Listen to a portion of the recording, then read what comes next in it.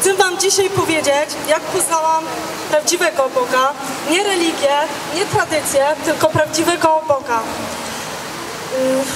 Całe życie myślałam, że mam dobre, poukładane życie, że wszystko jest w porządku, yy, ale tak nie było. Przed ludźmi udawałam, że jest dobrze, udawałam, że jestem radosną osobą yy, i w ogóle, że prowadzę wspaniałe życie. Jednak gdy przychodziłam do domu, to y, okazywało się, że czułam bardzo głęboką pustkę w sercu i po prostu przychodziły do mnie smutek, żal, jakieś tam wspomnienia. Y, chodziłam do kościoła, modliłam się, szukałam Boga, ale tak naprawdę nie szukałam Go swoim sercem. Tak naprawdę przychodziłam do Boga tylko, kiedy miałam problemy, kiedy coś potrzebowałam. Traktowałam Go jako, jako takiego Pana, który mi przynosi prezenty, niespodzianki, nie dając nic w zamian. Kiedy już wszystko było ok, Bóg mi pomógł, zapominałam o Nim. W ogóle się nie modliłam, nie chodziłam do kościoła i chodziłam tylko raz na jakiś czas, no bo święta były, tak? Przyszedł taki czas, że zachorowałam. Yy, Było mi bardzo ciężko. Yy, Nie pomagały tabletki, nikt nie był w stanie, żaden lekarz mi pomóc, nie wiedzieli co mi jest. Yy, Bardzo bolały mnie plecy, kręgosłup. Yy, I wtedy była mi głoszona Ewangelia. Mój brat yy, poznał Jezusa i po prostu mówił mi Kasia, jest dla ciebie wyjście. Jest prawdziwy, żywy, żywy Bóg.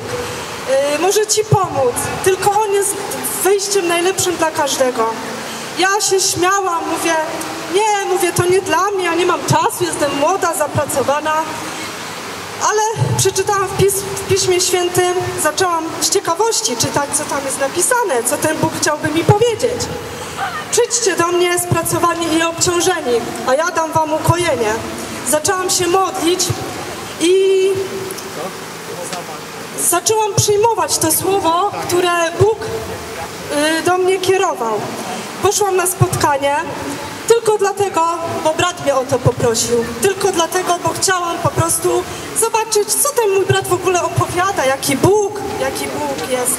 W ogóle Bóg, zawsze myślałam, że Bóg jest gdzieś daleko, daleko i w ogóle jak zechce, to może spojrzy na mnie swoim przychylnym okiem, tak? Yy, myślałam, że trzeba być idealnie dobrym człowiekiem, żeby po prostu yy, zasłużyć na miłość Bożą. Yy, Miałam taką teorię, że za dobro Bóg wynagradza, a za zło karze. I po prostu nagle dowiedziałam się z Pisma Świętego, że Bóg jest dobrym Ojcem, że On nie daje żadnych chorób, yy, że nas kocha, że po prostu całe zło to nie jest od Niego, że po prostu yy, to, my to my sprowadzamy i po prostu to diabeł nas chce zniszczyć, bo nas nienawidzi, dlatego że Bóg tak bardzo nas kocha. Yy, poszłam na spotkanie, pomodlono się o mnie i zostałam uzdrowiona y, z astmy, z alergii, z rwy kulszowej. Nie potrzebowałam żadnych lekarzy. Dzisiaj jestem radosnym człowiekiem. Y, Nie potrzebuję nikomu y, się y, zwierzać. Nie potrzebuję po prostu, żeby ktoś mnie zrozumiał. Jestem zdrowa, szczęśliwa i po prostu Niczego mi nie potrzebuję do szczęścia, tak? Nie muszę się przypodobywać ludziom, nie obchodzi mnie ludzka opinia. Zawsze byłam zatroskaną osobą, zamartwioną. Wszystko mnie denerwowało.